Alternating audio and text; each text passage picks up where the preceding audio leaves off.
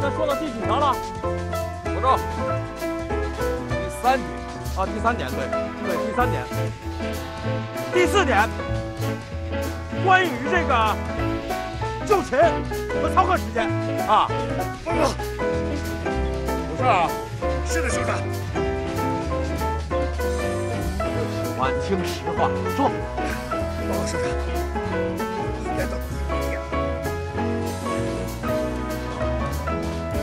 错了？会吧？错了吗？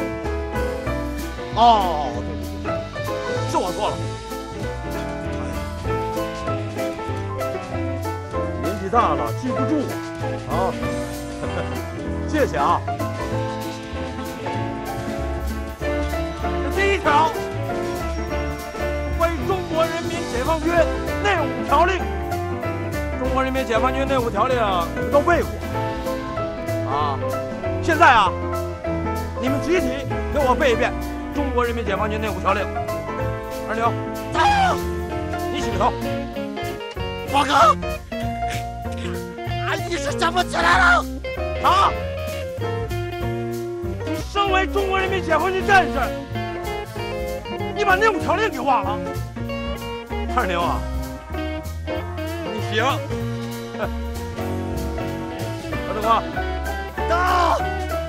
你起头。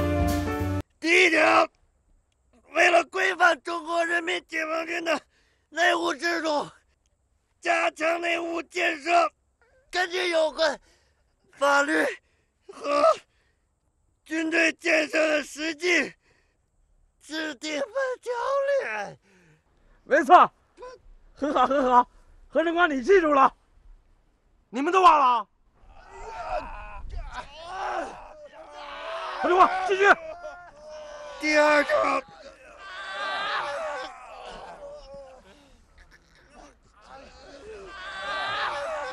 创意啊，太有创意了！二十一世纪最缺的是什么？创意。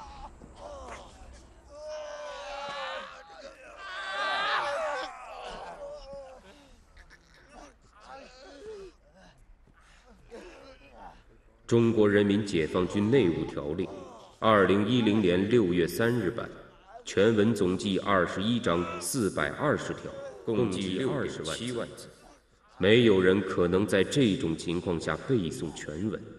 他要的，并不是菜鸟们可以背诵完全文，而是让他们知道，在这个世界上还有他们做不到的事情。他们都很优秀，锐气太盛。自以为只要想做就没有做不到的事情，他用这种方式告诉菜鸟们，他们不是超级战士，只是菜鸟。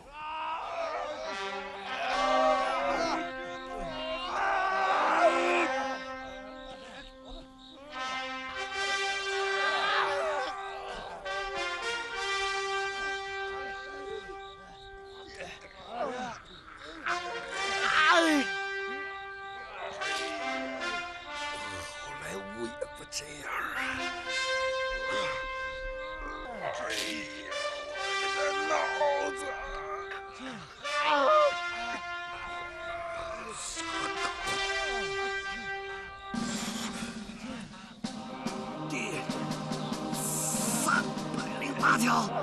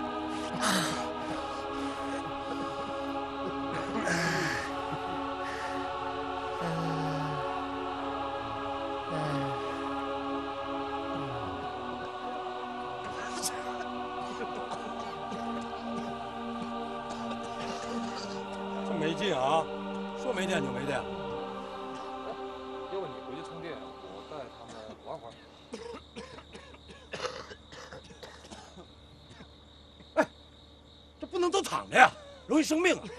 让他们起来活动活动。好，这个，呃，我懂的。让我充电去。好。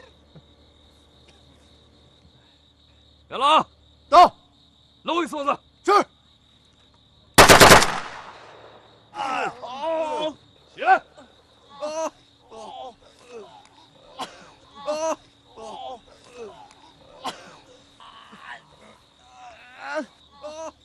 好，起不来是吧？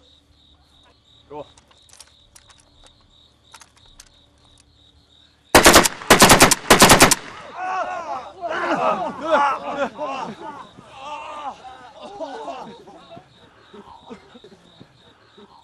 这不站得起来吗？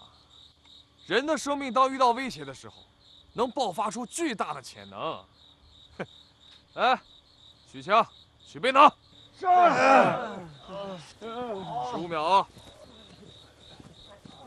十、九、八、七、六、五、四、三、二、一，向右看齐，向前看。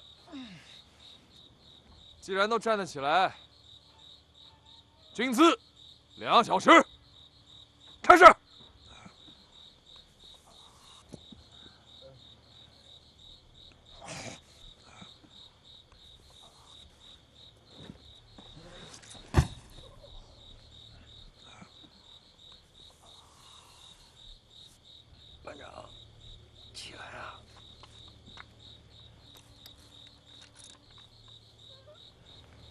行不行？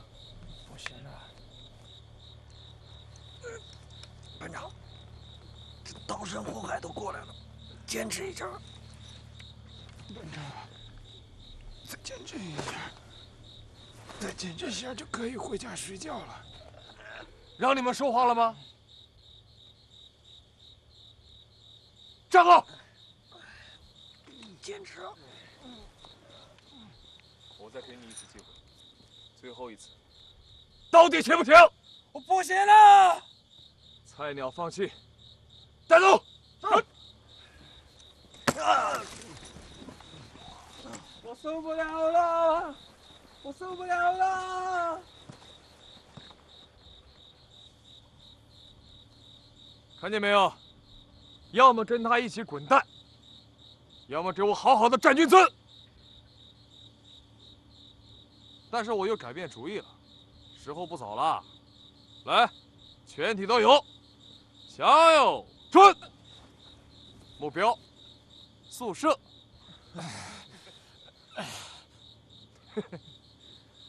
正步，不会走正步啊，好，来，正步走，一令一动，一。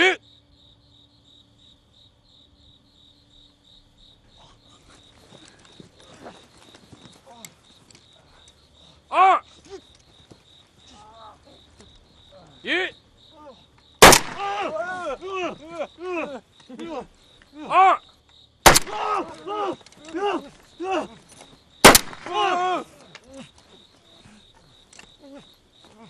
一，二。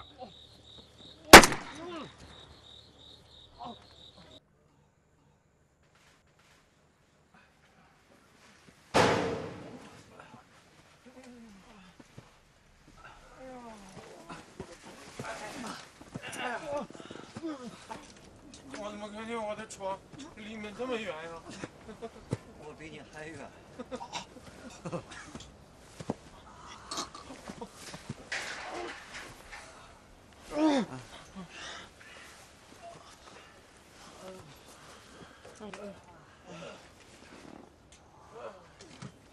哎呀！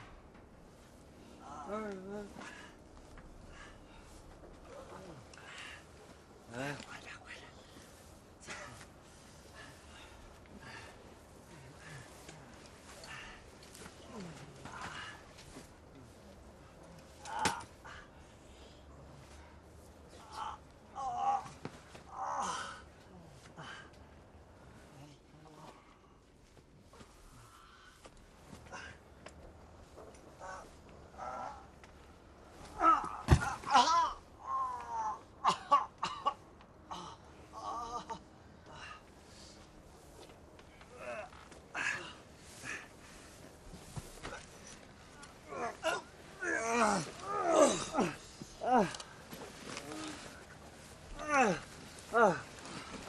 谢谢啊，列兵。哎，我去，我苏凯飞也有今天啊！啊啊啊！高手，我见过你，什么时候？报纸上。嗯，别提了。徐天龙。何振光，你好，首长。哎呀，首长，别首长了，叫龙龙吧。龙龙，师承何门何派啊？抱歉，祖父交代过了，不让说，怕出家追杀。什么年代了，还怕吵架？哎呀。老祖宗的话呀，咱得尊重老人家嘛。理解，理解，理解，理解，嗯，理解，理解，理解，理解。走。啊。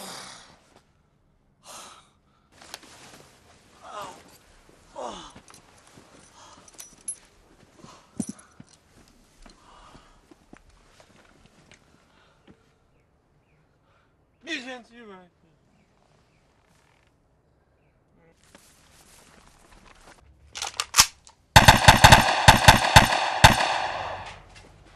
别对着我呀！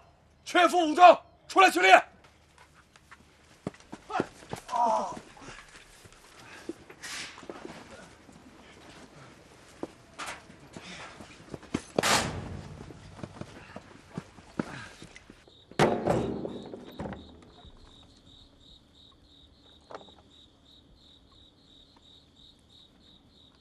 都认识吗？认识认识。什么呀？八六全速手雷。对了，八六式全速手雷，一九八六年定型量产，攻守两用手雷，杀伤半径大约六米，隐性时间二点八秒至四秒。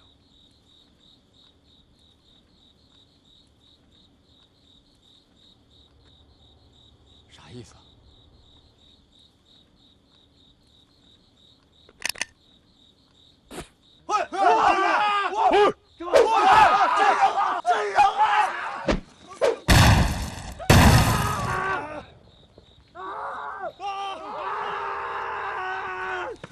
别叫了，徐志远，别喊了，我都不怕，你怕什么？会死人的！都炸来了。教官，真的？教官，搞大了啊！大吗？我觉得还好吧，不错，身手敏捷啊，两颗手雷你们抓住了。这要是再多一点会怎么样呢？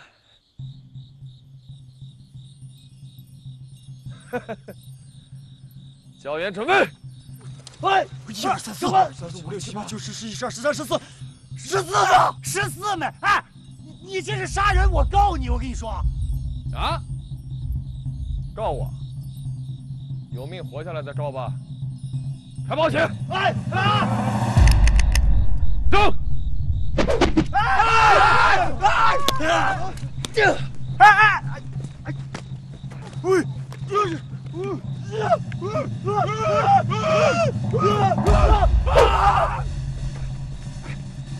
好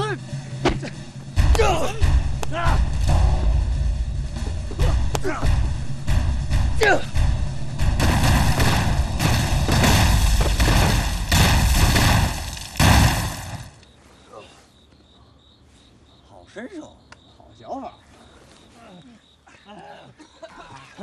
没事，没事。对，看出来了，们哥这是身怀绝技，但是，哎，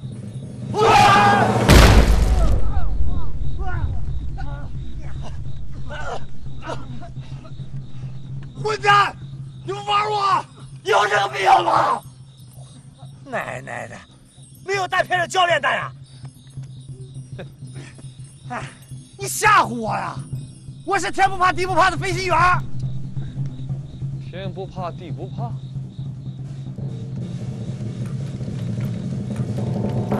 说的啊。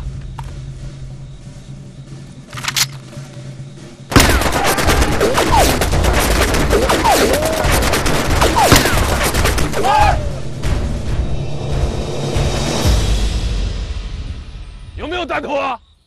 有，有没有啊？有有有，这个有，这个真有，这个可以有。有有。别跟我扯什么天不怕地不怕。你们怕，我也怕。你们怕被我打死，我怕打死你们。害怕不丢人，知道害怕，说明你们是人，不是机器。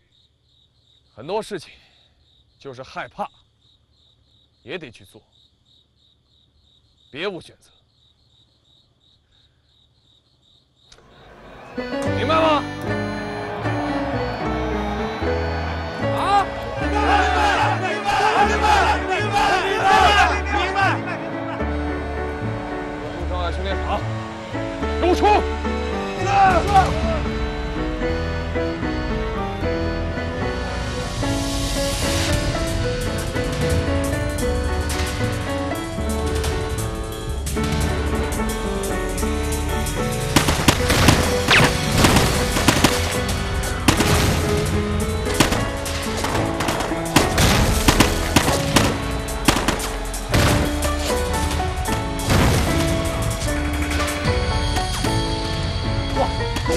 多血啊！谁中弹了？我没中弹。我命大，我比你命大。他们都神枪手，心里有准。我这个事没有。妈，这种日子什么时候才是个头啊？飞行员，把饺子拿走！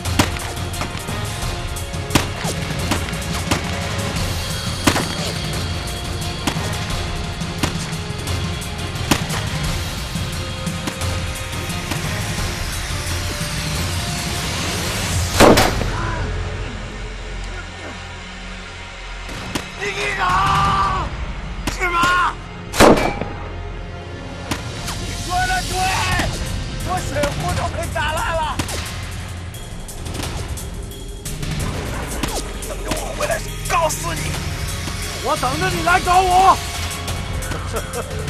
看不起眼前陪我爬呀？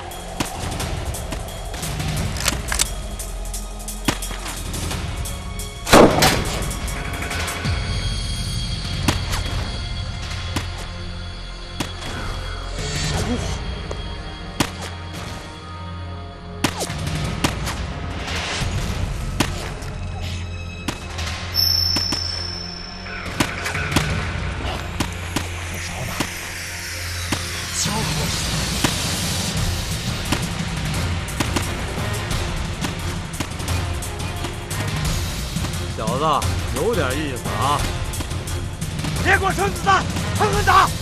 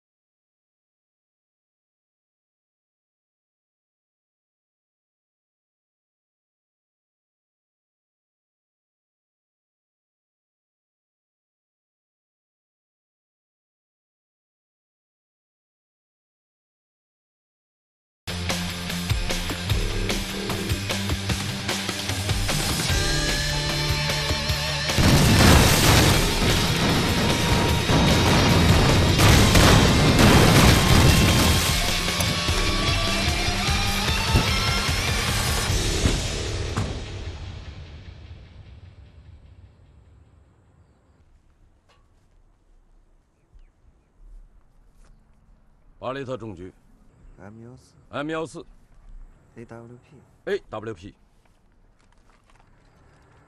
我的最爱。八五狙。从今天开始，你们将进行狙击手的战术学习。当然了，你们当中有些同志啊，在老部队那就是狙击手了，有些同志呢，还跟我们交过手，水平不错。不过，那是野战部队的狙击手，不是我们特种部队的狙击手。红细胞小组在未来的行动中，将不断的进行狙击作战。所以啊，你们要好好学习，天天向上，不要丢了自己的命，还连累了别的同志。我为什么选你们出来呀？啊，那是因为我不用再教你们基础狙击射击，那些啊，在老部队你们早就完成了。你们每个人都是当之无愧的神枪手。不过，离我的狙击手标准还有不少差距。这就是你们悲剧啊，因为你们要丢掉神枪手的荣誉，从头学习。怎么？不服气是吗？不，不服气。如果我们都不符合你狙击手的标准，那请问您狙击手的标准是什么？很好，我就喜欢听这种实话，啊！你们要是没有这种性格，那算我看错你们了。你们水平都不错，要不然呢就不会站到这儿来了。不过我要问你们一句：你们当中谁打的不是靶子，打的是活人？跟你们谈什么射击技巧啊，这意义不大啊！你们都很聪明，都很精锐。精英、兵王，那大多数在部队啊，呃，都是班长，有的呢还是连排长、带队主官。这发几本教材，晚上回去看看，到各部队那都是狙击手教员了，所以谈这些没意义。我就问你们一句：谁打过活人？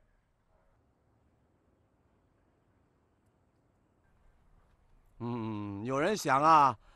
我们没打过仗，谁可能打活人呢？没错，这话没错。但是如果战争降临，在你的面前有一个指定目标让你射杀，你敢吗？有什么不敢的？大声说！报告，我是说有什么不敢的？这没上战场以前呢，都是鸟样，枪声一响啊！全都拉稀了。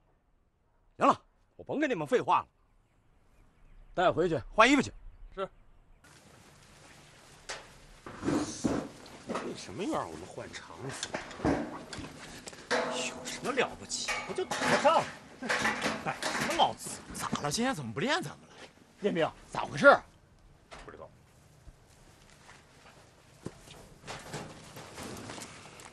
哎，嗯，你怎么想？我想知道他在想什么。龙龙，想什么呢？这一刻不好过呀。这一刻，不是，俺就想知道，他们咋就不练咱们了呢？他们的招都用的差不多了，还能有啥呀？不是我说你们都说什么呢？我怎么越来越听不懂了？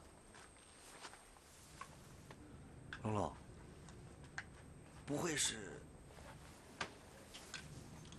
还聊呢？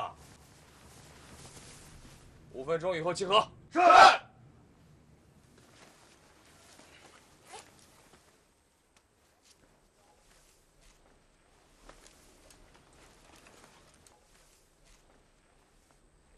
向前去，向前看。不错，很准时，全体都有，向右转，目标食堂，齐步走。现在就看。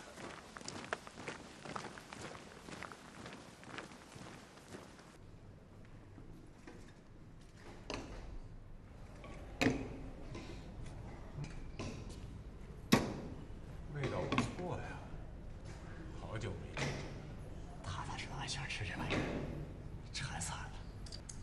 是啊，这白花花、红不刺丸的豆腐脑，别吃着。哎呦，就这点豆腐脑能撑着吗？别逗了。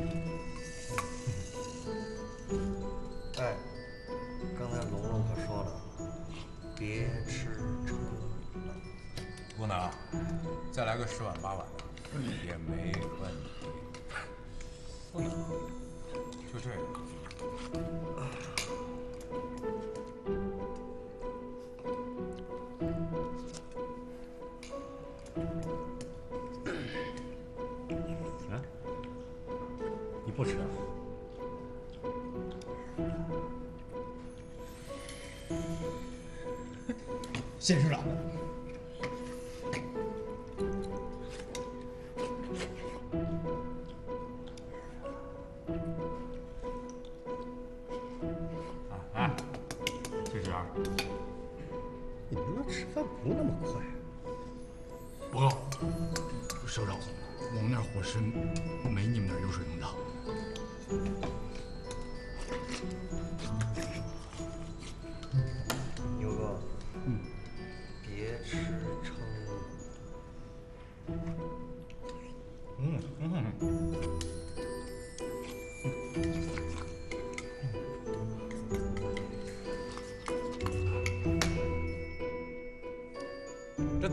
放开量吃啊，多吃点。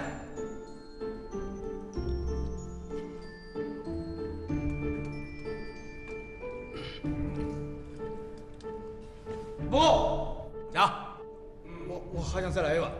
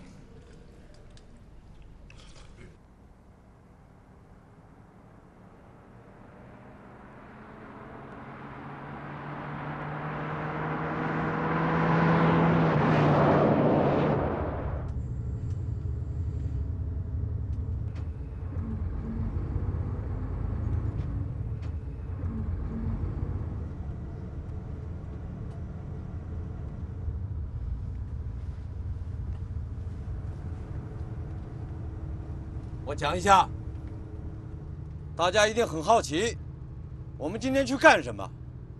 公安和武警有个大活动，我们是去观摩的，只戴眼睛，不戴嘴巴。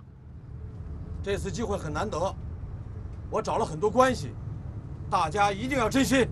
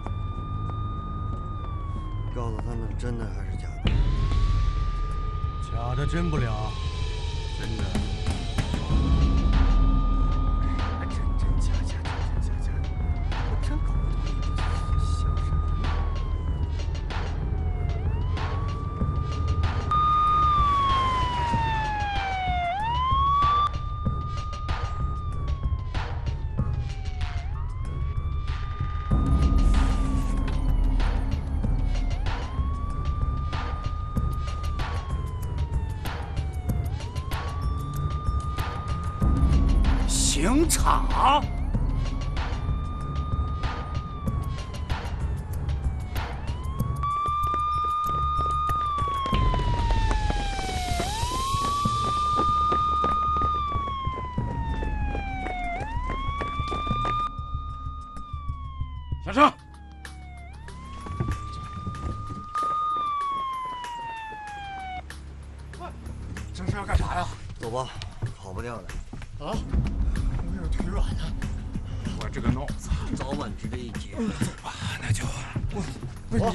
这老哥，我有点不舒服。我让你别是这么撑的，快！我早点告诉我，我早告诉你，你早吐了。快快快，都下车！我都不知道我来这儿干什么。这好莱坞大片他也不这么演的。这不正准备让你演天不怕地不怕的飞行员吗？吹的有，下一看齐，向前看，向转，齐步走。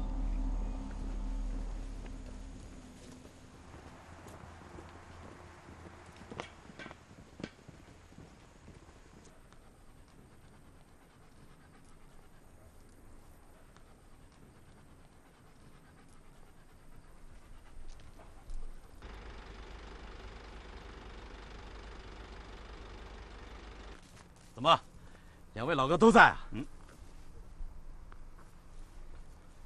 头等警戒，我们俩谁敢不在啊？不是只枪决一个吗？这个不简单，境外毒枭头目，大陆漏网了。据说他的家族花了重金想劫我们的法场。在中华人民共和国的土地上，还有这扯淡的事儿？情报是这么说的，上级非常重视。你来了正好，从特种部队的角度看一看，我们的部署还有什么需要调整的地方？看看吧。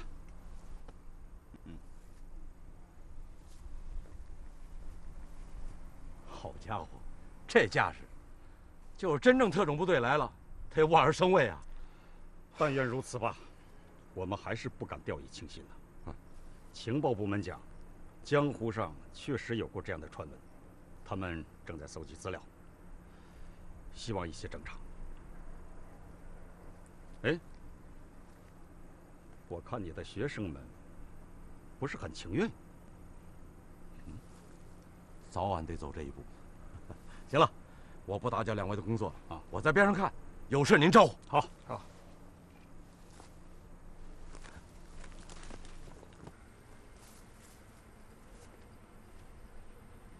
看见了吧？这警戒线以里，一会儿就是行刑的地方。你们站在位置，会很清楚的看见子弹击中死囚后脑的情景。你们都是军人，习惯和武器打交道。武器的真正含义是什么？武器往往是和死亡紧密联系在一起的。这毫不弃言。记住，狙击手啊，不是打靶子，是打人的。一会儿我提两个要求。一，给我睁大眼睛，不许闭眼。这二，不许发出任何声音，不许叫喊，给我静静的看，明白了吗？明白。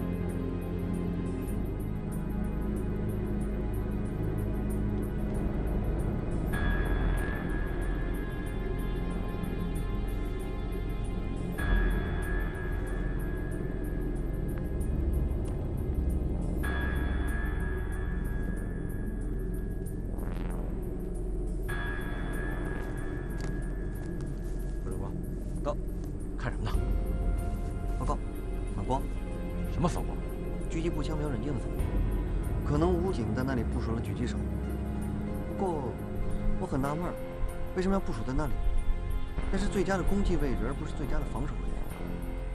确定？确定。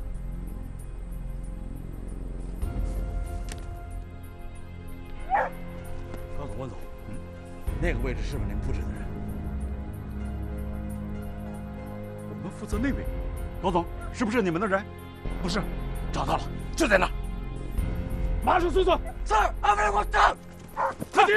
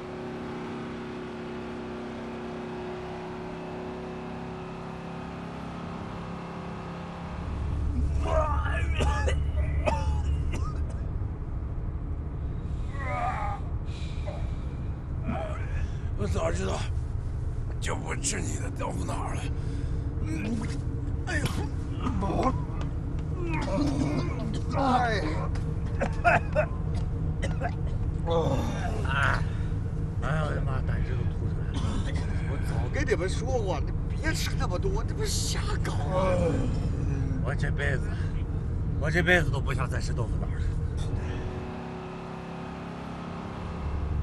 都不吐啊？哎，你好像没事吧？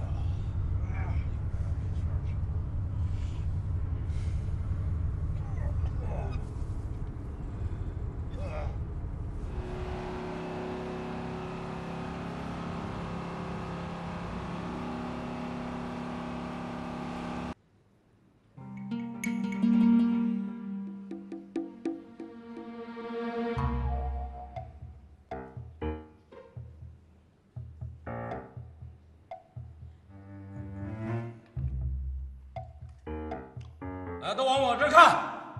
你看这红烧肉烧的多好啊！今天伙食不错。咱们解放军的伙食标准提高了，你们都给我吃啊，别饿瘦了。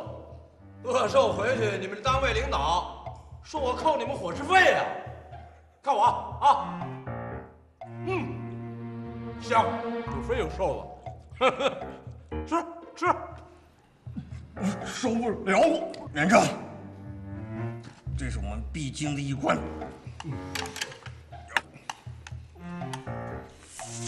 要是能够让我们真刀真枪的干上一场，也不至于这么难受。真刀真枪，这一关我们都会不过，过得了。我我不行了啊！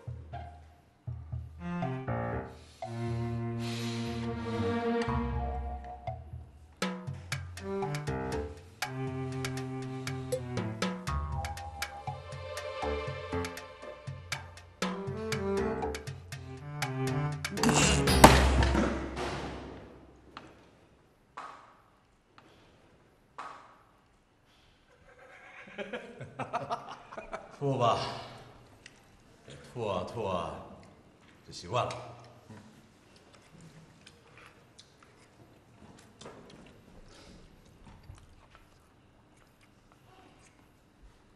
跟我出去的。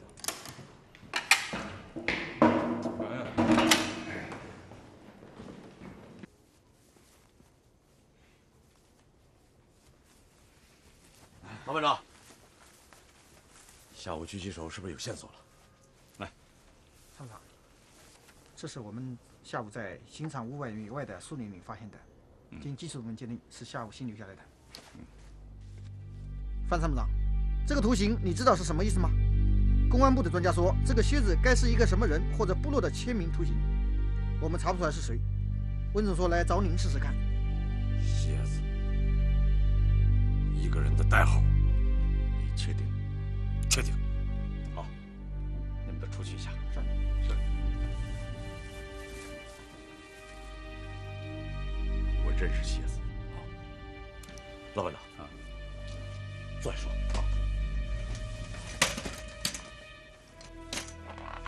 国际刑警一直在追捕蝎子以及他的死党，他们涉及到多起的暗杀和绑架案件，这里其中包括不少国家的政治家和知名企业家。其实这件事情跟我们并没有多大的关系，可是就在一年以前，蝎子亲密的一个手下回到了大陆，就在我的辖区活动。蝎子的手下回到大陆，到了你的辖区。对，他本来是个海员，就是从大陆出去的。他追随蝎子，参加了欧洲的外籍兵团，并且跟蝎子参加了很多战斗。退伍以后，入了外国的国籍，后来跟着蝎子当了外国的雇佣兵。国际刑警组织对他也发布了红色通缉令。你们一直监视他？我足足监控他一年了。国际刑警组织，也就是想通过他的消息，查到蝎子，挖出蝎子。这这个好啊！嗯，你想啊，嗯，他是蝎子的最亲密手下，嗯嗯，两个是战友，又在战场上出生入死，这蝎子肯定会找他联系。可是他一直没有动作呀，包括这件事情，他没有任何异常。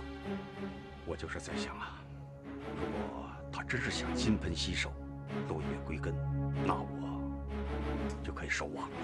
哎呀，老班长别着急呀、为什么？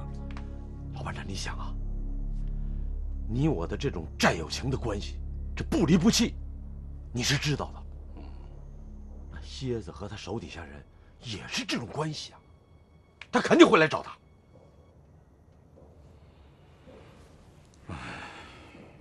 你说的也不无道理。这样，我继续监控王亚东，也许会有新的发现。你说呢？没问题，老班长。嗯。你是刚才说那个王亚东是不是长得白白净净的？对呀、哦，这个人我见过，和我的一个兵的女友走得很近。老班长，嗯，这个人你也认识？何晨光。对。其实你也不需要担心了，他们已经分手了，这是你兵的幸运。万一他被卷进来，那可就麻烦了，影响他以后的前途。这种结果是最好的。嗯，老班长，你不知道啊，何晨光是烈士的儿子。啊？哎呀，万幸的万幸啊！七十八，七十九，八十，八十一，哦，八十，哦，八十。怎么了？胃还难受啊？不是，俺没吃啥东西。还在想白天的事？俺不知道，俺就觉得那是真打死人了呀！当兵打仗，天经地义。如果打仗哪有不死人的？俺真不知道。俺以前想当狙击手，可是……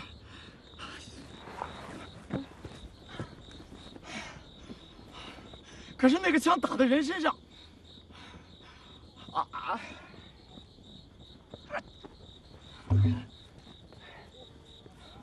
这该死，你知不知道啊？俺知道他该死，他是个死刑犯，俺知道他该死。那你想什么呀？俺说句实话，俺拿了二级厨师证，可是俺连鸡都没杀过。你后悔了？俺不知道。俺当兵，俺觉得很光荣。现在又有机会进特种部队，俺觉得这连做梦都不敢想的事，这是。俺喜欢当兵，俺喜欢在部队的感觉，俺就喜欢打枪。可是，俺想打的是那个靶子。我说李二牛，你脑子里每天都在想什么呀？净整那没用的。你想，你想能解决问题吗？天天喊着打仗啦，打仗啦，演习是不是挺好的？怎么现在变成这样了呢？俺不知道，俺不知道真要打起仗来。俺还有没有那个勇气？其实我也难受。你，你不是跟没事人似的吗？难受不一定非要表现出来。你看彦兵，他得用兴奋麻醉自己。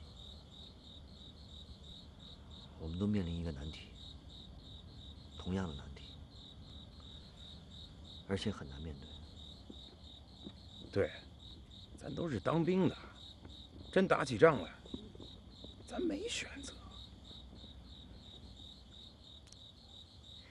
我这脑筋急跟闹肚子一样，我真不知道这要再出现这种情况，俺该怎么办？那个枪打在人身上，那是个活人啊，那不是环数啊，真的是血。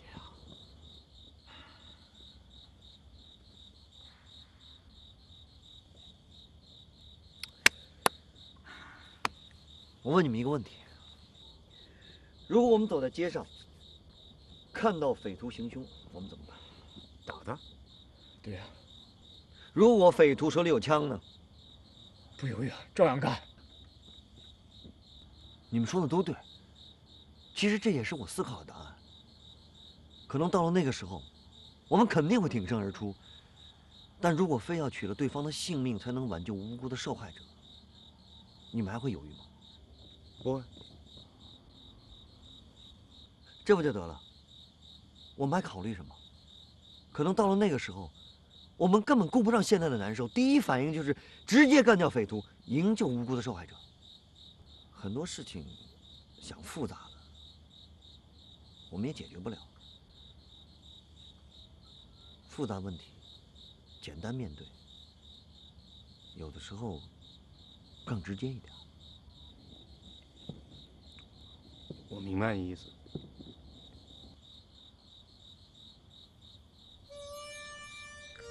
可是俺不可能不去想这个问题嘛。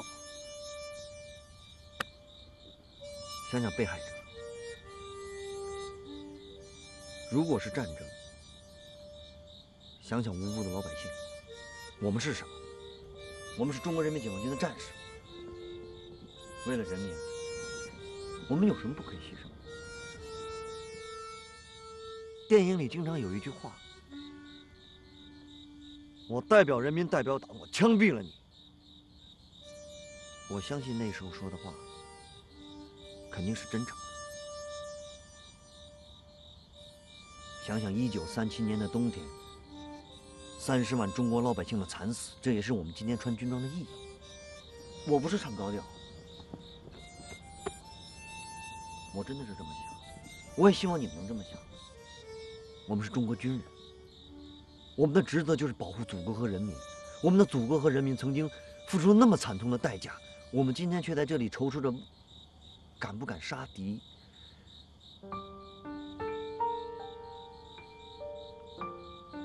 我觉得，可能我们有点问题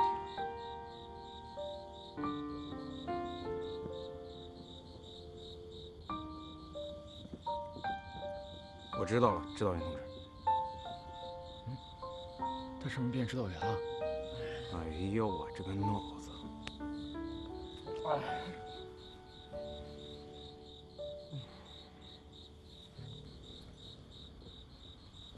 为了我们的祖国和人民，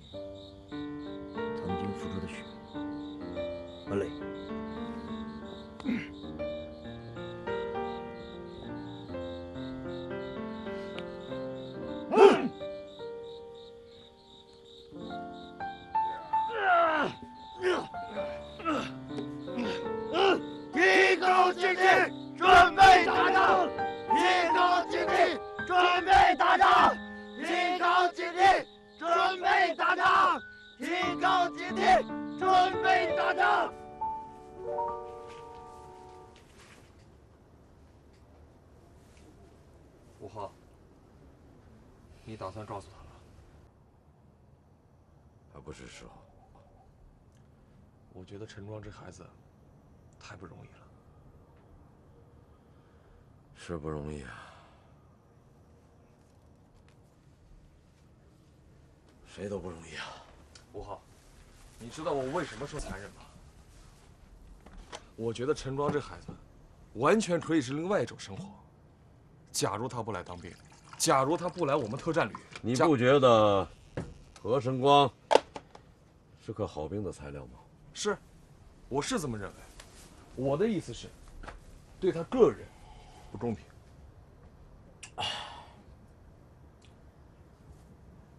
假如说他是个好兵材料，不来保卫祖国，那他练武干什么？那不能是练武的都来当兵吧？别的练武可以不来，他不能不来。为什么？如果你的父亲被害了，你心里面能释怀吗？不能，他也不能。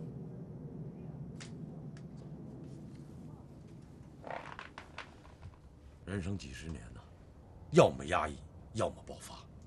他承载的东西太多了。他要是找不到一个心灵的出口，啊，他可能很有名，很富有，但他内心不能释怀啊。他找不到幸福和快乐。记住啊，真正的幸福和快乐，不是来自于物质，而是来自于心灵。你当初招他入伍的时候，你怎么知道蝎子一定会在大陆出现呢？我也不知道，我还以为他死了呢。对呀、假如蝎子不出现，他找不到蝎子，没法替他父亲报仇，怎么释怀？山明，狭隘了。我说的这个心灵的出口啊，不是以血还血，以牙还牙。作为一个小男孩，父亲在他心里的意义是多重要。他一直没有跟父亲生活在一起。母亲遭车祸去世了，说白了，他就是半个孤儿。他的内心很封闭啊，他一直希望跟父亲在一起。我不明白您的意思。是，他父亲是牺牲了，但是在他心里，父亲没有死。这些道理我都明白。我的意思是，到底要怎么样，才算是和他父亲在一起？成为像他父亲一样的人。父亲和他相拥在一起，父亲的生命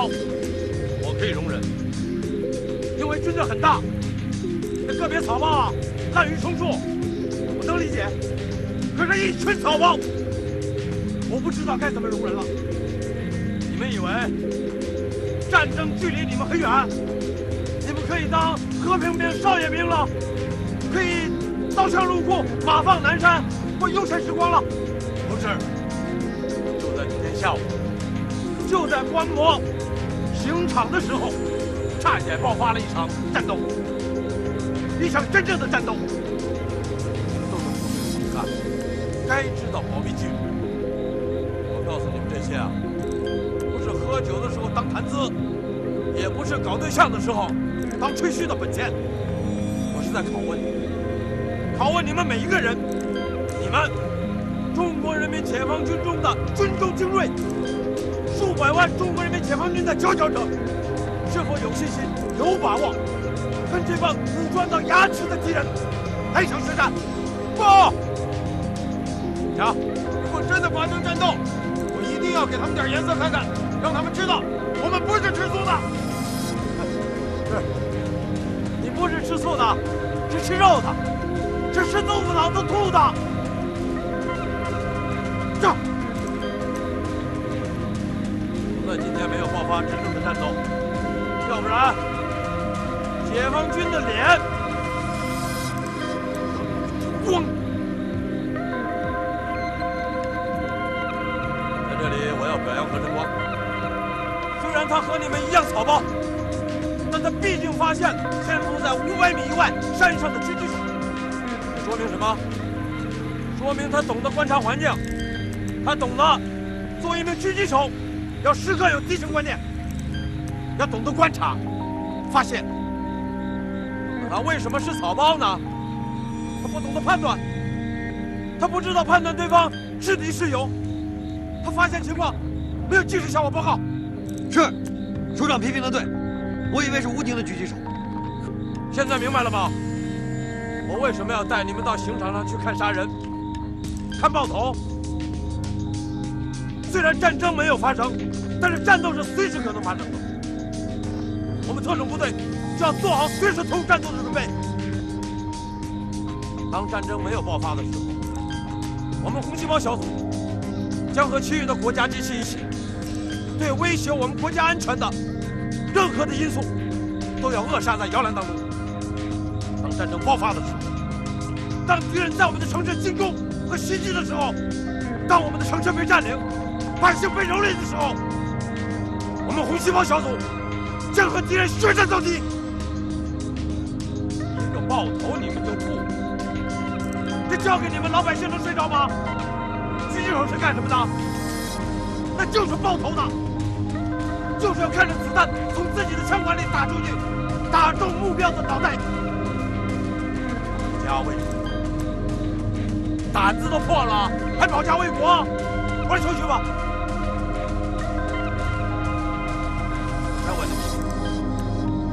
准备好了吗？时刻准备着。我听不见。时刻准备着，时刻准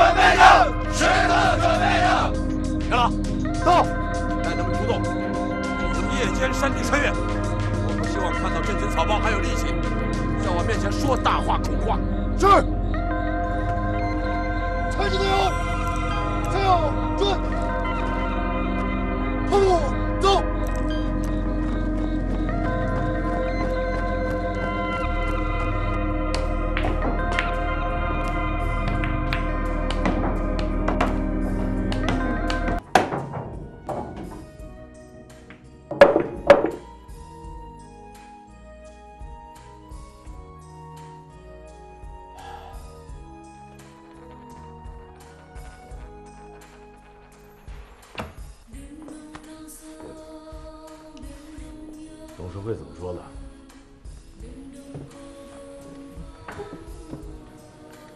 蝎子，还是伏特加？这是你教我喝的酒。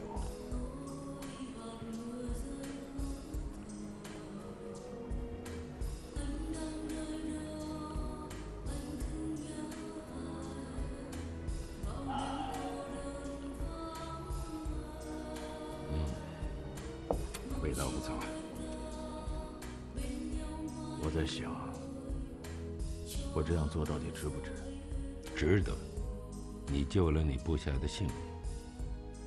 蝎子，我告诉你，你不要把你的想法强加给董事们。这帮董事，他们只是为了投资，他们所做的一切都是生意，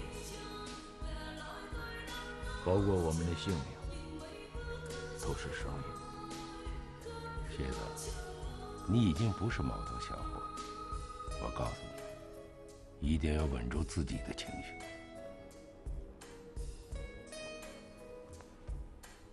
我经常在想，我为什么战斗？是什么让我离开了我的祖国和我的军队？那个时候我年轻，而且穷，穷的要死。可是那时候，我为我的祖国、我的人民，还有我光荣的人民军战斗。虽然那个信仰是一个谎言，可是总比没有要强。我告诉你，为了什么？你现在所做的一切，都是为了你自己。是为了钱，为了那该死的、肮脏的、带着血的钱。对，我们就是为了钱。没有钱，你母亲死，恐怕你连一口棺材都买不起。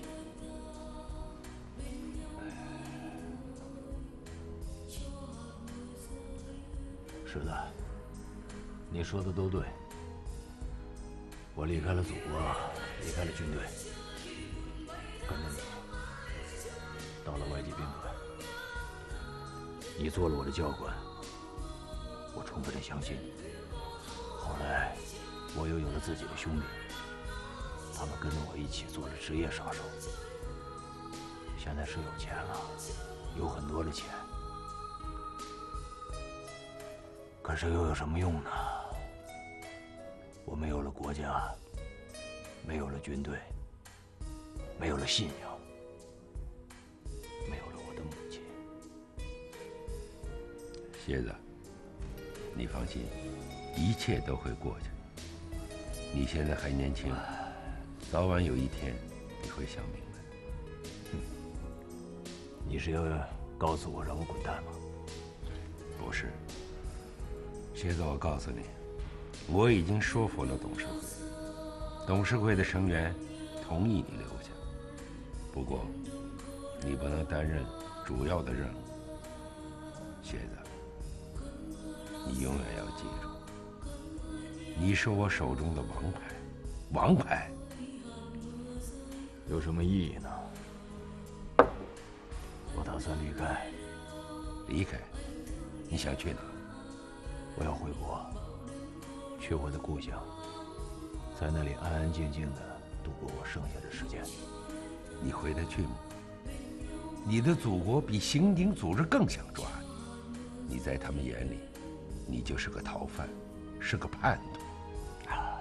你忘记了，我是蝎子，我是丛林里的蝎子，我可以伪装潜伏下来。那又如何？强中自有强中手。我告诉你，你早晚有一天会被识破，他们会永远的在监视你、追踪你。他们想通过你查到我们这些幕后的黑手。哪一天，他们一旦发现你没有价值，就会追杀你。总会有那么一天，哪里都藏不住了。可是如果那天来的话，我不会有好下场。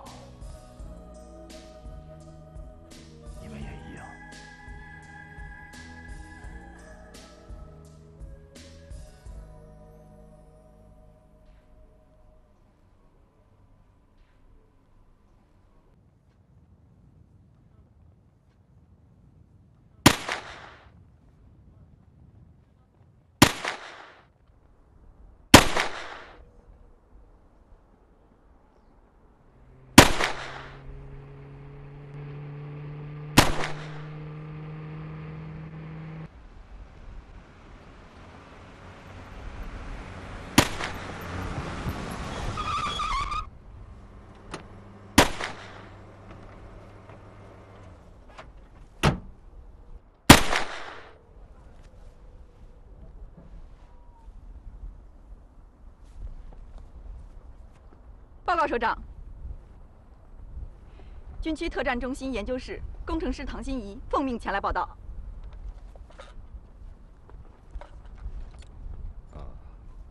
唐心怡，呃，应该说，我这是第一次见到你本人。嗯，果然很精干。谢谢首长。呃，你对军事游戏很有研究。报告首长，我也只是在工作上有所接触罢了。嗯我一直对特种部队有所研究，在对外军特种部队的研究中，他们利用电脑游戏进行练兵的时候，一直是我关注的训练手段之一。唉，利用军事游戏来训练部队，这对于我们来讲还是一个很新鲜的课题啊。是啊，首长。外军的起步比我们早多了。嗯，那我们也要迎头赶上。首长，您的意思是，我们也要开发军事游戏？那太好了。不好意思，首长，我有点失态。没有关系。你今年多大了？报告首长，二十四。啊，二十四，年轻，有知识，有干劲儿，嗯，很好。谢谢首长鼓励。嗯，是这样。呃，今天上午呢，军区开了一个特别会议，专门研究了关于军事游戏的问题。我们已经接到军委首长的命令，研发军事游戏的任务落在了我们东南军区的身上。对于外军来讲，这不是一个什么新领域，但是对于我们来说，这个领域就是全新的。所以，我们要成立一个军事游戏办公室，专门来研发我们自己的军事游戏，研发我们解放军的军事游戏。首长，那太好了。好是好，可是你知道，咱们部队当中，真正了解军事游戏的人可以说是凤毛麟角。嗯、你的这份关于军事游戏的汇报材料，我们都非常仔细的看过了。看来你是非常的熟悉军事游戏，所以军区决定由你担纲，担任军事游戏办公室的主任。我对，怎么？有什么不同意见吗？首长，我还太年轻了。怎么年轻呢？我跟你讲啊，当年战争年代，咱们最年轻的兵团司令员，你知道，才二十三岁啊，比你现在还小一岁呢。啊？我不相信这件事情比渡江战役还难答。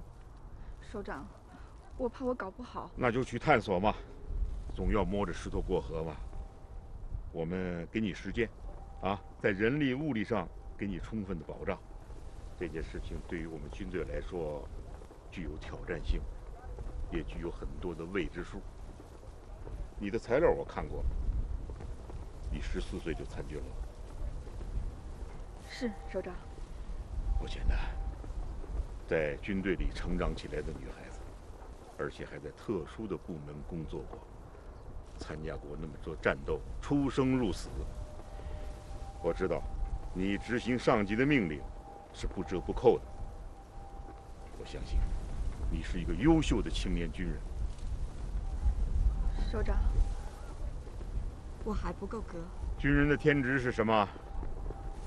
是，我服从命令。好了，小唐主任，从现在开始，你就是军事游戏办公室的主任了。谢谢首长。呃，怎么样？有压力吗？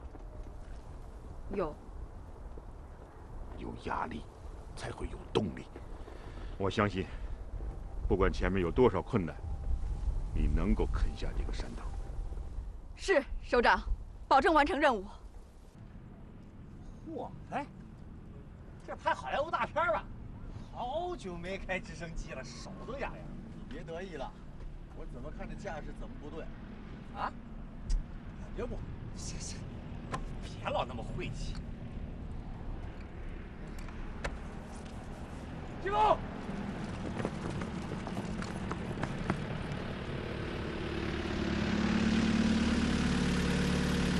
走！停！向场前！向前冲！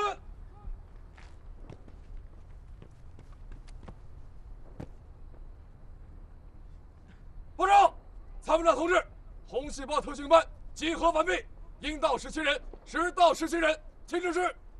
上戏。是。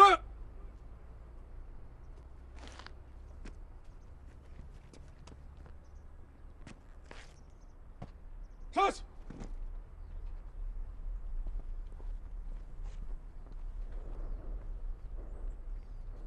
同志们。今天我们玩个红蓝对抗游戏，也算是你们狙击手战术理论结业的测试。这个游戏的名字很通俗，打猎。怎么玩呢？就是抽生死签这副扑克牌中啊，谁抽到其中的大小王？谁就是猎物。猎物是两个人组成，一个狙击手，一观察手。猎人呢自由组合，猎物为红队，猎人为蓝队。猎物是两条腿走路，而猎人呢有所有的车辆，还有武装直升机，范围嘛就是方圆二十平方公里，自由潜伏、自由搜索、自由射击，一方全部阵亡。游戏结束，二十四小时以后，红队还有幸存，蓝队失败，都明白了吗？明白。既然都明白了，到我这儿来抽签。别动！神神叨叨的，瞎搞。两个打十五个有点意思啊，要不？咱俩当猎物，那得抽签决定。别让俺抽着猎物，俺想当个猎人。你懂什么呀？当猎物那才够刺激。够啥刺激？两个打十五，能能打得过去啊？哎，要不然你俩当猎人，我当猎物。他怎么那么小被虐呀、少胜多，那才算本事。他的意思是，如果他是猎物，必将猎人也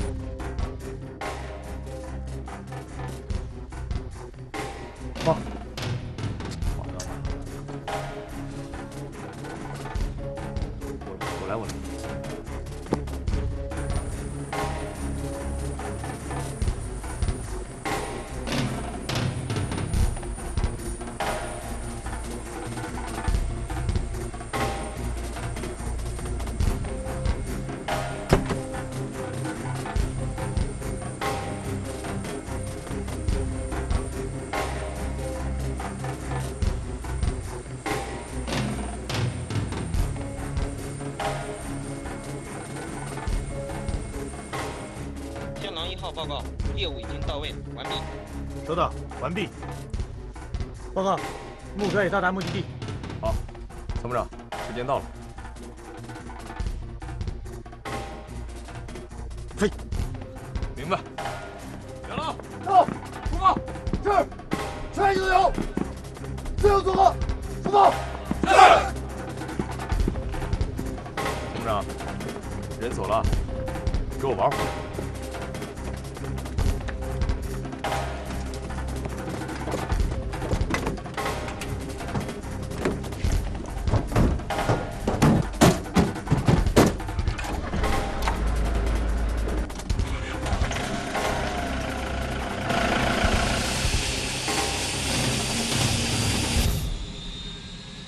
飞吧，他们都走了。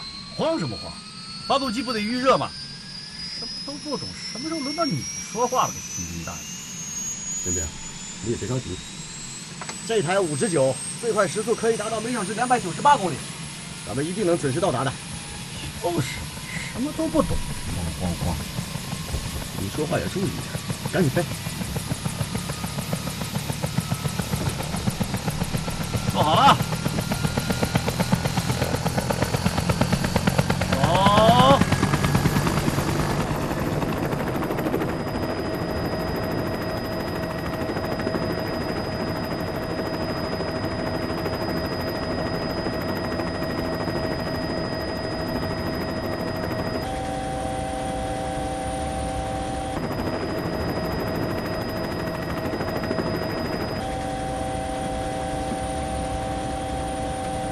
咱们这是在 B 幺两幺地点下的实地，真是。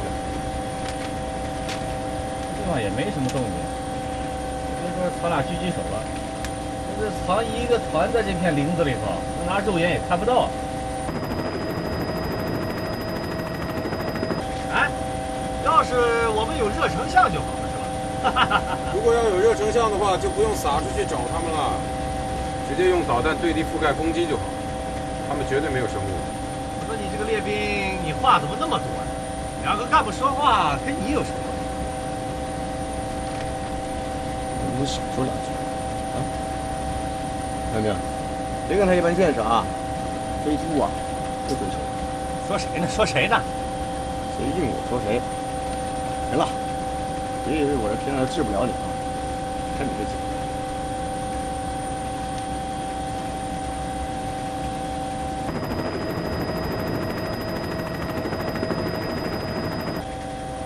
呃，那我也得知道去哪儿吧？方圆几十公里的，咱总不能在这儿兜圈吧？啊？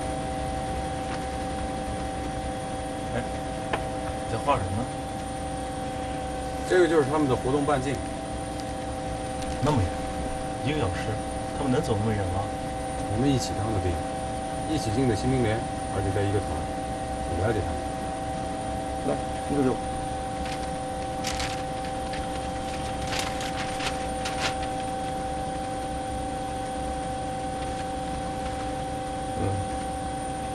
相信何晨光有这个能力。扯呢吧？一个小时能在这样的山地丛林负重三十公斤行军，活动半径能达到十公里，编故事都不会编。他们俩的能力可不是编故事，而是真实的。一边玩去。算算算，我告诉你，飞行员，人家王彦兵说的对，我们必须要扩大搜索半径。现在开直升机的是我，我说了算。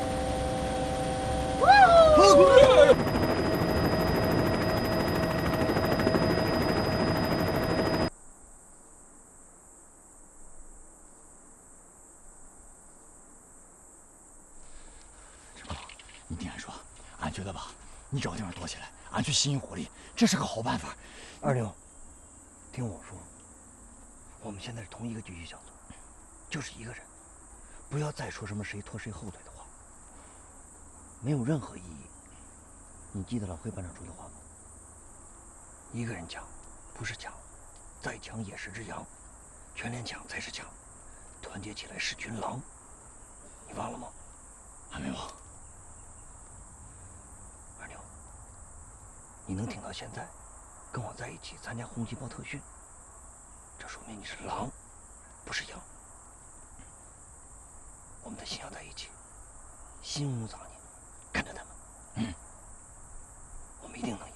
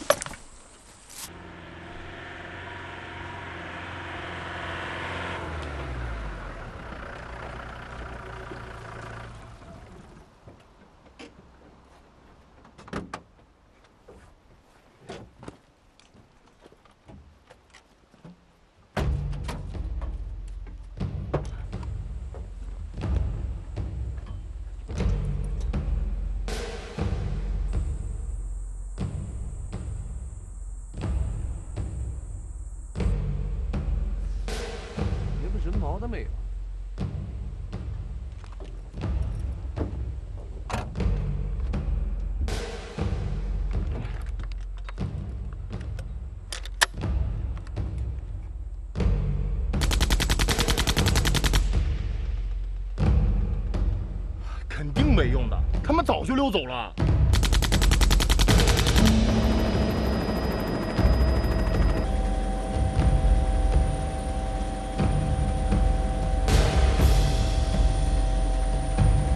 九点方向有人打枪，赶紧过去。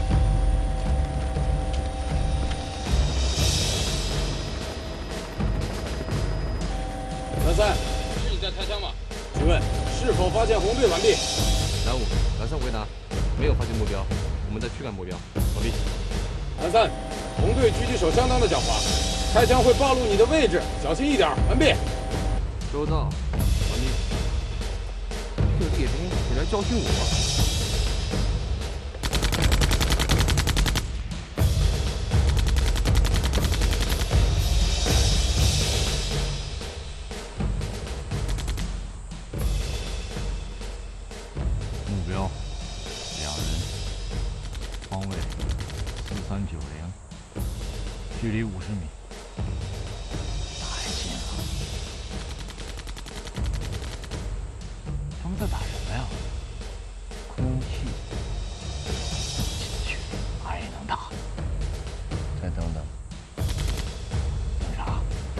他这做的快爆药包吗？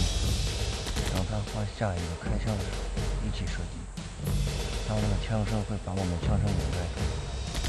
我们的杀人的呼吸。冲！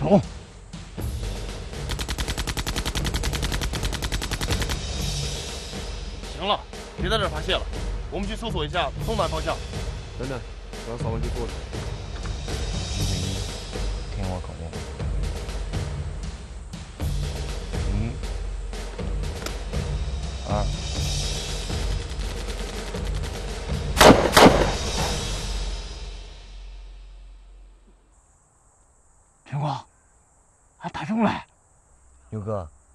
说过你能行。你是一头狼。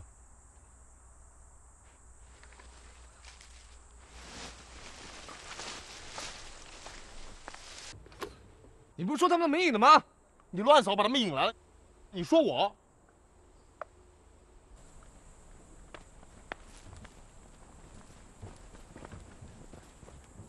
哥们儿，怎么这么大胆，居然在这儿等我们？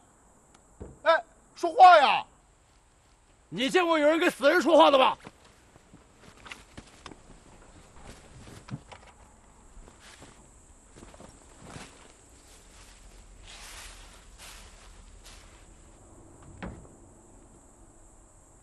真够黑的，还不耳雷？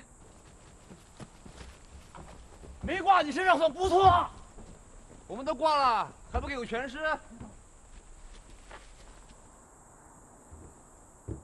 得，刚开战，蓝队挂俩，还不是因为你搞的？怪我？怎么不怪你？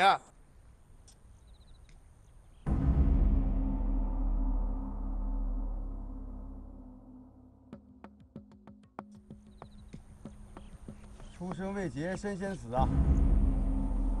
已经有两个人挂了。什么活动半径十公里？明明就是在他们落地的地方干的。他没有走，何晨光比较了解我，但是他用了自己最不应该用的战术——蹲守战术。他完全是冲我来的。哎呦妈呀！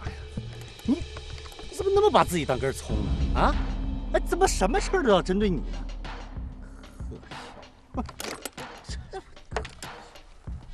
哎，兄弟，怎的？你要怎地？搞什么？你在搞什么？你们在搞什么？这没完没了的，在天上你就说个不停。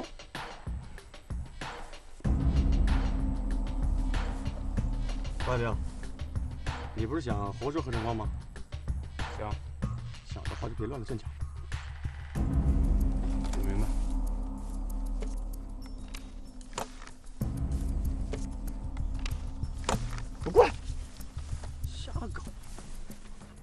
们现在就以 B 幺两幺为据点，半径五百米，展开扇形搜索，保持联络。都明白？明白。明白。出发。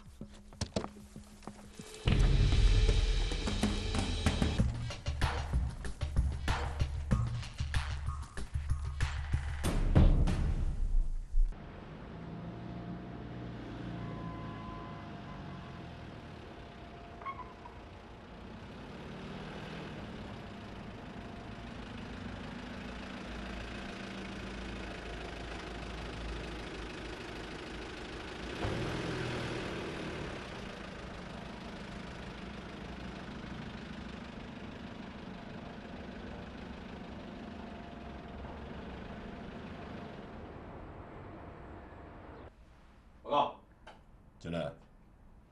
旅长，找我有事儿。啊，唐工，你也在这儿？参谋长，好久不见了。你好，你好。人家现在不是唐工了，现在是唐主任。哦，特战研究中心的李主任退休了。不是，是军区新组建了一个军事游戏办公室。哦，哎呦，恭喜恭喜啊，唐主任，恭喜啊！欢迎来我们特战旅视察和指导。参谋长，您就别损我了。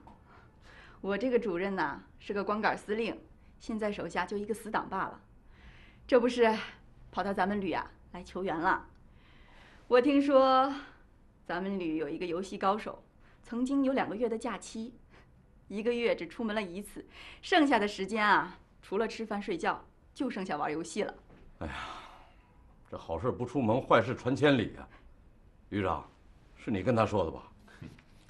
就你那点破事儿，还用我说吗？啊，军网上早就传开了，代号叫“金雕”的玩家，多出名啊！是这沉迷网络呀，不是好事儿。参谋长，这对我可是个好事儿啊！听说您在旅里面还组织了什么军事游戏竞赛，作为他们军事考核的参考成绩，是吗？没错，这旅长批准的。这有些同志啊，对军事游戏有误解。其实我觉得，这军事游戏啊是一个重要的辅助手段。像飞行员，可以通过辅助软件进行模拟飞行；步兵、装甲兵、特战队员，可以通过辅助软件进行模拟训练呢。参谋长，我有个请求。说。我想聘请您为军事游戏办的总顾问。总顾问。嗯。这是什么顾问？我我怎么能当顾问呢？哎呀，说你行你就行，怎么婆婆妈妈的？刚才人家小唐一说，说玩游戏的专家，我想都不用想，第一个想到的就是你。你说我的大参谋长，连机关开会，连会都给耽误了，不是你还能有谁啊？旅长，就这破事全给我捅出去了。那行，既然旅长说了，总顾问的事儿我干了。不过我有个条件呢，唐主任。您啊，还是叫我小唐顺儿点儿。哦，那行，小唐主任，总顾问呢，我答应了。你也得答应到我们特战旅客串教员。我？嗯。您没开玩笑吧？我到特战旅客串教员？没开玩笑，这儿就是旅长和我们两个人，你别藏着掖着了。小唐啊，他身手了得，不是简单的什么工程师。这一点我倒没想到啊！这么漂亮的姑娘，以前也是干我们这行的啊？他进特战研究中心以前的档案呢，都是空白的，空白档案。哎，有不可告人的秘密，是不是小唐？参谋长，对我搞侦查，这可不太好吧？没想到啊，没想到我们机关还藏龙卧虎啊，小唐。旅长您见笑了，参谋长是开玩笑的，我哪有那么厉害啊？可是，参谋长，那我也想问一下，我到特战旅去教什么呢？总不会去教科研吧？那当然不会，你来啊，教特种侦察、特种作战。这，您可不缺高手吧？我们特战旅的高手啊，那是在小范围培养出来的，他们的思维和见地啊，很难超越现在的环境。总部首长把组建红细胞特别行动组的任务交给了我们特战旅，我和旅长的意思是，希望他们接受不同的训练，最好的训练。好，我倒是也想见识见识这个红细胞有多厉害。那我们成交。成交。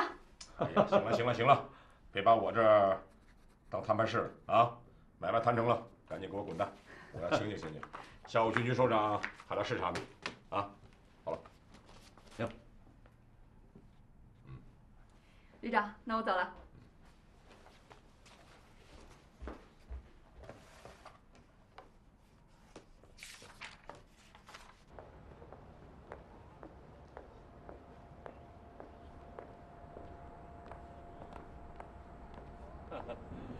我说嘛，怎么有辆车在这儿？这是你的？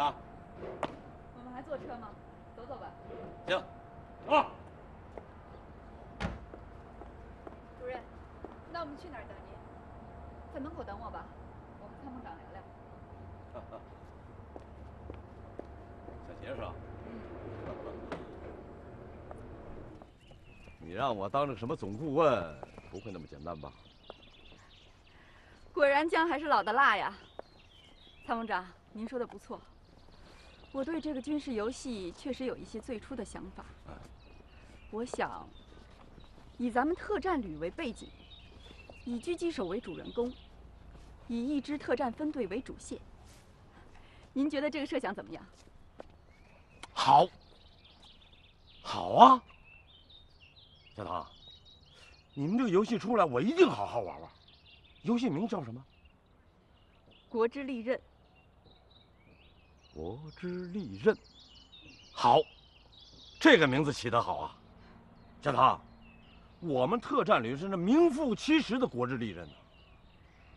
您喜欢就成。哎，对了，参谋长，您让我去当教员，您总得告诉我我到底教什么，怎么教吧。小唐。你现在是我们自己人了，我就详细跟你说说。总部首长命令我们特战旅组建一支全新的特别行动小组。之所以说全新呢，不仅是要求装备新、技术新、训练新，也包括思维新、战法新、手段新。总之啊，面对未来战争所有可能性，面对特种部队非战争行动的所有可能性，组建一支。全天候、全能型的特别行动组，这就是您的那支红细胞特别行动小组吧？没错。红细胞无形、隐秘、渺小，却能引发巨大的癌变。参谋长，这可够狠的。战争是迫使敌人服从我们意志的一种暴力行为，使敌人无力抵抗，是战争行为的目标。克劳塞维茨的《战争论》第一卷，不简单呐。《战争论》你也看过？您见笑了，只是看过点皮毛而已。我们红细胞特别行动小组呢，注定跟这个传统的作战分队啊是不一样的作战方式，在不一样的作战理念指导下的作战行为。所以啊，我希望。你交给我的队员是不一样的东西。参谋长，您可说过，我是不了解狙击手的，我那些东西都是从书本上看来的，那会有什么不一样啊？啊那是我说错话了。也许你不了解特种部队的狙击手，但是你对秘密行动绝对是内行。化妆渗透、心理作战、敌后接头交接情报、安全点的选择和使用、徒手格杀、对象国家和地区的风土人情、政治军事，这些啊，他们通通都要学。你还要教会他们如何做一个无名英雄。我相信你会是一个好教员。您呀，才是最大的内行，您一眼就能看出我受过这方面的训练。我们就不要相互吹捧了吧，自家人不说两家话。那好，参谋长，嗯，您的那个红细胞特别行动小组现在在哪儿呢？我想去看看他们。还在选拔当中啊。今天和明天呢，他们在进行狙击战术对抗训练。那我更想见识见识了，他们在哪儿？都在山里。山里。嗯。现在我也找不到他们，一直到对抗训练结束，他们都会消失的无影无踪，是丛林里的隐形杀手。我还是想去看看。行，我派人带你去。哎，参谋长，您就不担心我们出现在训练场上会给他们添乱吗？添乱？那战场上什么意外都可能发生。在训练场上给他们添乱，是对他们最好的考验。我明白您的意思了，那我就先走了，参谋长。好。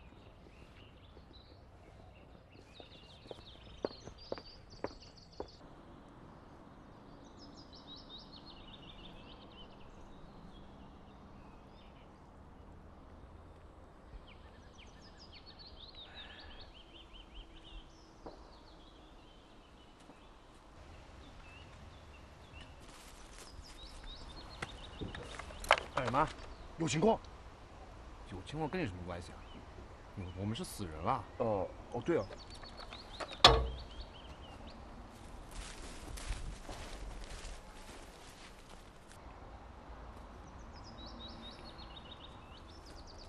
你们两个怎么在这儿？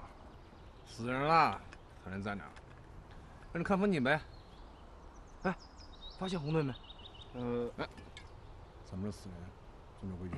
啊，对。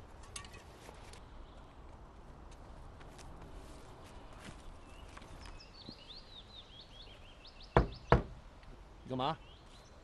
起来吧，这车我们现在征用了。我跟你说，你可别后悔。后悔？我们两个跑了十几公里的山路，好不容易抓着一辆车，起来。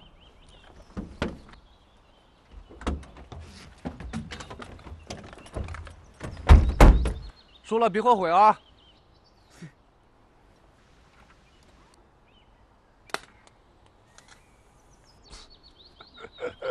叫你别后悔了吧？下车吧，还在这干嘛？没你们啥事儿了，等着收尸队吧。下下下下下。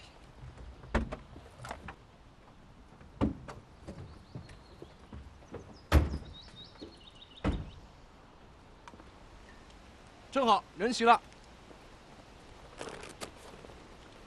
来来，都立住！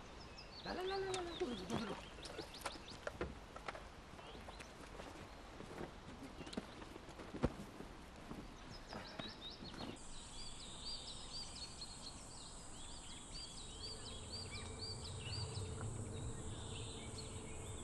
我们又挂两个人，啊，现在十一比二。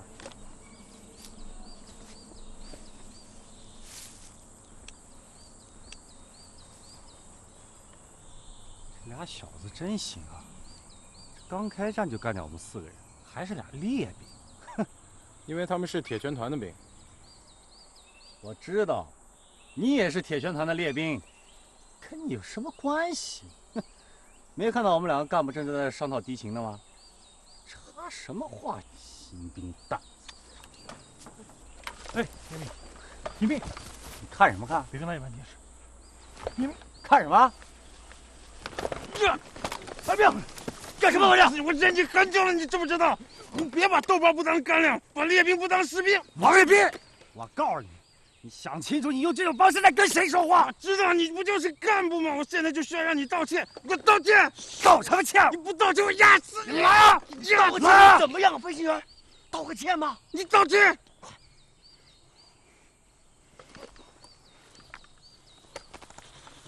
对不起。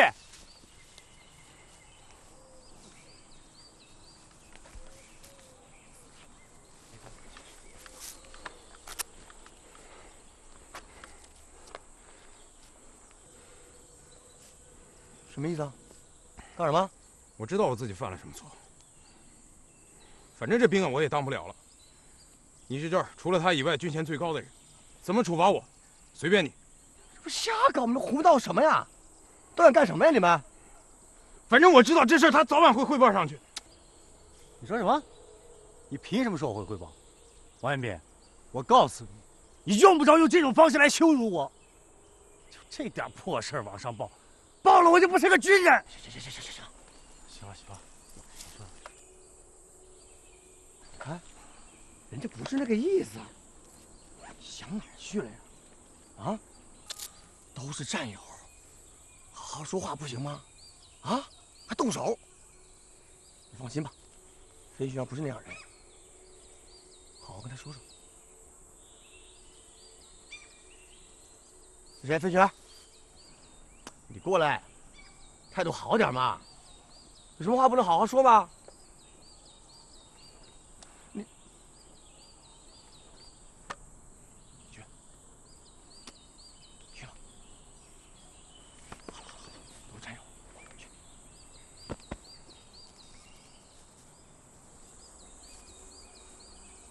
对不起，我不该动手。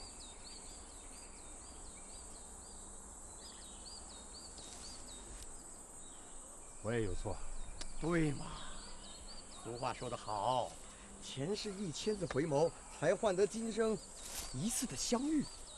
咱们还是战友，哎，就看在咱们前辈子头都快要扭断的份上，咱干点正事行不行？啊？干点正事吧。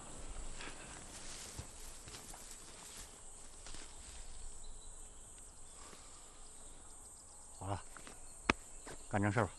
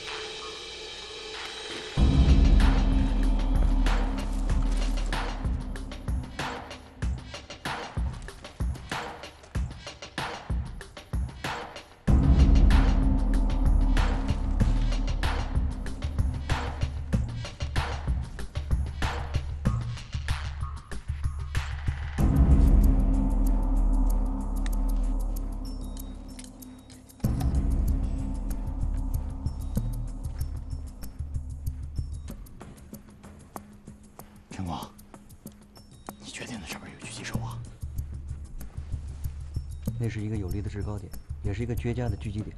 如果是我，我会第一时间抢占那里。帮我留意四周，我来个火力侦察。明白。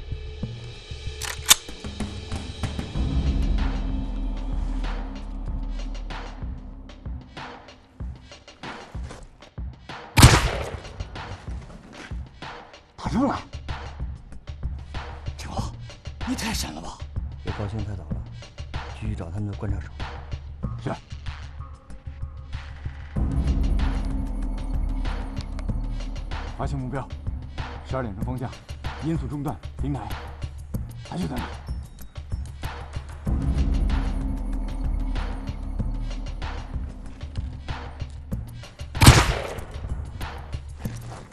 目标消灭。中华，不可以进去了。要进入厂区，必须通过前方的开阔地，贸然进入，一定会遭到其他狙击小组的攻击。那那我们怎么办？等，等。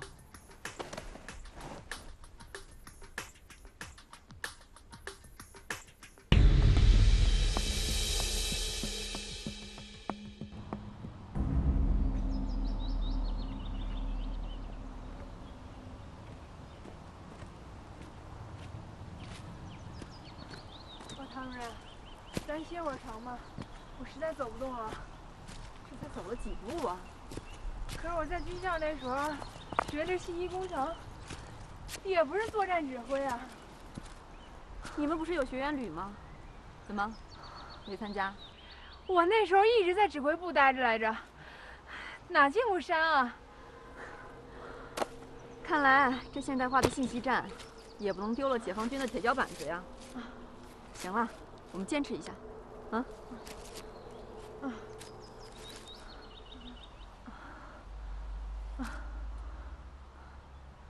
你什么好啊？不是，你说我又纳闷儿，你是怎么有那么好身手的？走这么远山路？好奇。啊。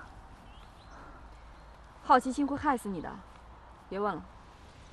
唉，神秘的女人啊。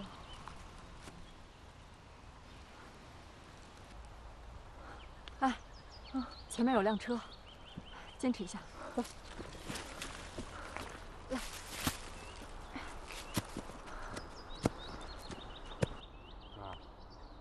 去，去！疯了！你疯了吧？凯炸，王炸！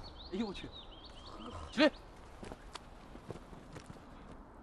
首长好，首长好，首长好。行了，别喊了。你们四个怎么在这儿？不是搞红蓝对抗吗？我们四个挂了，按照规定，只能让你待着。红细胞？也不过如此嘛。这是你们的车。是。我临时征用了，小杰上车。首长，这部队的车。我知道啊，这是军车。不，我的意思是，这车是部队提供给我们训练的，您要开走了，我没法交代啊。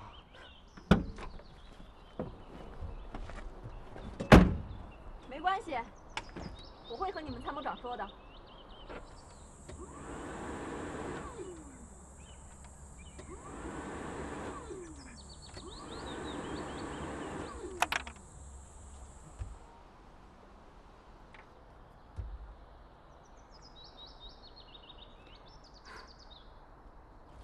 行了，下车吧。怎么了？人家不想借，我们也别赖着了。走吧。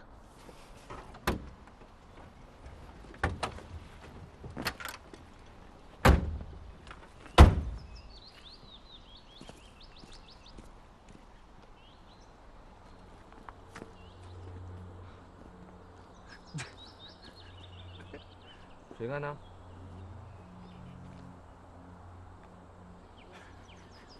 咱们的车要是被他们开走了，咱回去怎么交代？你小子行啊，手真快。哎，什么时候搞起来的？不能说，绝活。拉倒吧，还不想学呢。咱继续打，牌，走走走走走走走。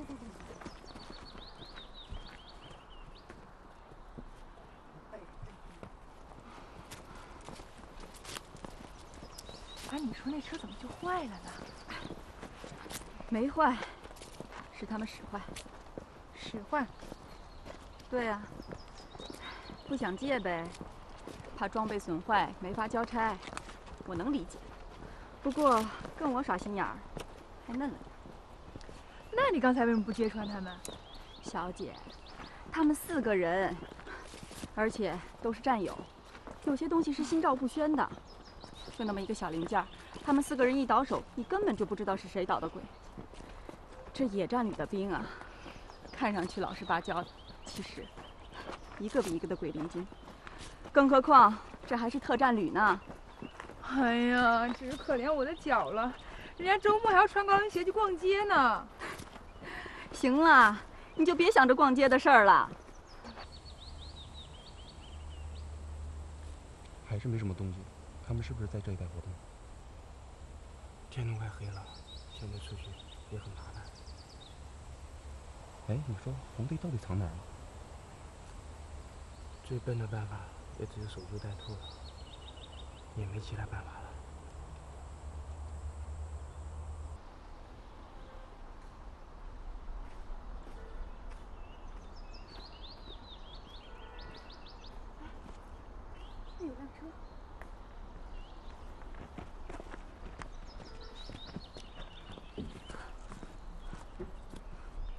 把他开走。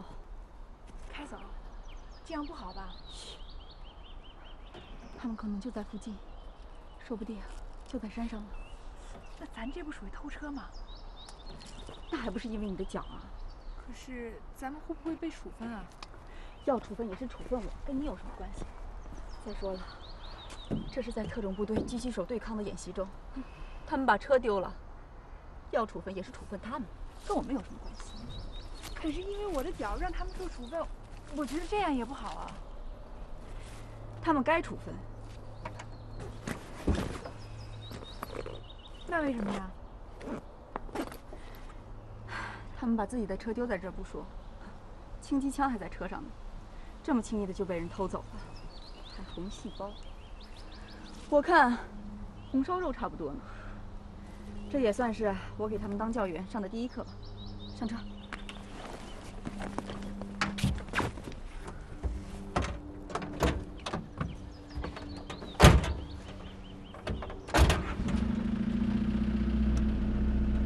抓稳了。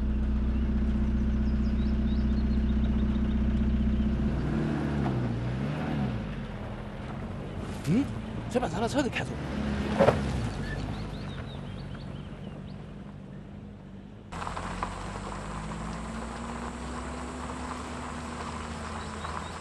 你那么紧张干什么？我头一次坐这么猛的车，好好体验吧。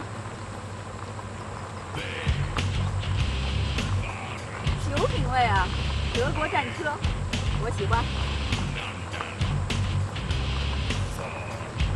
坐稳了。